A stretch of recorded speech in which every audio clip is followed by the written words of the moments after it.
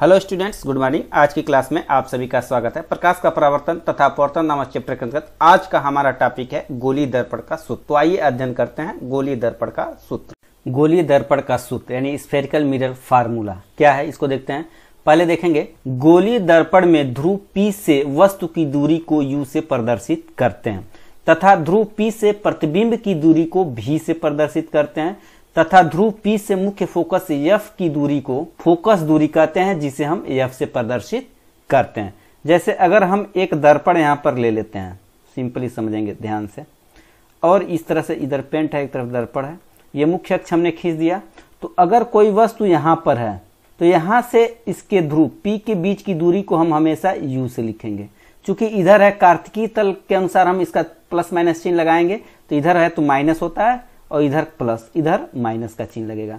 और अगर इसका प्रतिबिंब मान लीजिए यहाँ पे बनता है तो प्रतिबिंब की दूरी को हम हमेशा भी से रिप्रेजेंट करते हैं।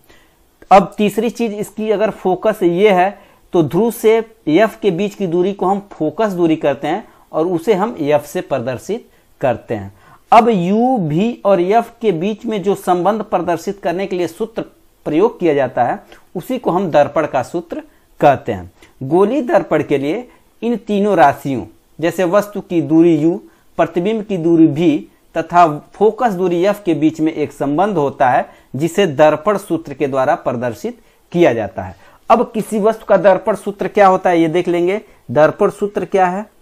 One by v plus one by u बराबर होता है वन बाई एफ़ यानी कहने का मतलब यह है कि किसी भी दर्पण से प्रतिबिंब की दूरी का व्युत्क्रम तथा उसी दर्पण से वस्तु की दूरी का व्युत्क्रम का जो योगफल होता है, वह उस दर्पण के फोकस दूरी के व्युत्क्रम के बराबर होता है। अब ये हो गया एक बटे भी प्लस एक बटे यू बराबर वन बाई यफ या इसको हम सीधा ऐसे भी लिख सकते हैं कि वन बाई यफ बराबर one by v plus one by u. इसी को हम दर्पण का सूत्र कहते हैं और इसको आप याद कर लेंगे, यह मोस्ट इंपॉर्टेंट सूत्र है, जिसका उपयोग हम आने वाले न्यूमेरिकल सवालों में करेंगे। ठीक है?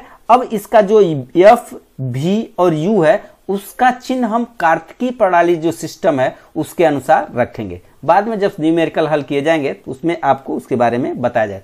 तो यहाँ पर आपके लिए इंपॉर्टेंट ये है कि गोली दर्पण का जो सूत्र है, उसको याद कर लेंगे। और वो सूत्र है वन बाई एफ़ बराबर one by v plus one बटे यू यानी किसी भी गोली दर्पण का जो फोकस दूरी का व्युत्क्रम होता है, वह उस दर्पण से प्रतिबिंब की दूरी का व्युत्क्रम दर्पण से वस्तु की दूरी के व्युत्क्रम के योगफल के बराबर होता है। यानी वन बाई एफ़ बराबर होता है one by v plus one बटे यू। आप इसको याद कर लेंगे, मोस्ट इंपॉर्टेंट है। आज की क्लास में इतना ही। मिलते हैं नेक्स्ट क्लास में, नेक्स्ट टॉपिक के साथ। तब तक के लिए गुड बाय।